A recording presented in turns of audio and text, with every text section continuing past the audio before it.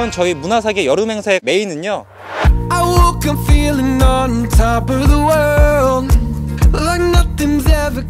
아이들하고 함께 할 수 있어서 너무 즐겁습니다. Got me flying high as a bird.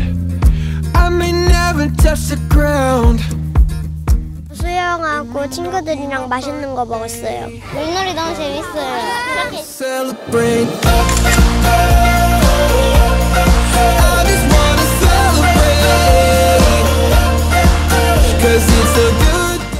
색칠하는 거 재밌었어요.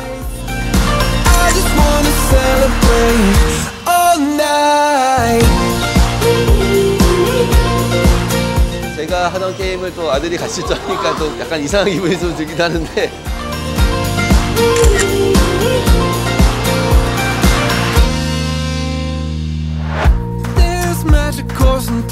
이런 뜻깊은 행사에 같이 참여할 수 있게 돼서 굉장히 기뻤고 이런 기회가 그 매년 저 있었으면 좋겠습니다. 예. soul in every way.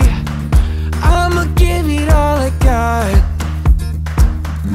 It may not be 좀 무서웠고 재밌어요. 그래서 한 번 더.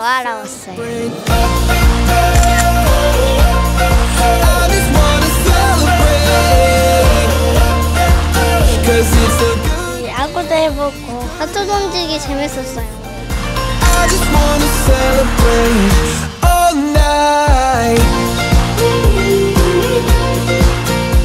도자기랑 차를 만들기. 너무 즐겁고 재밌어요.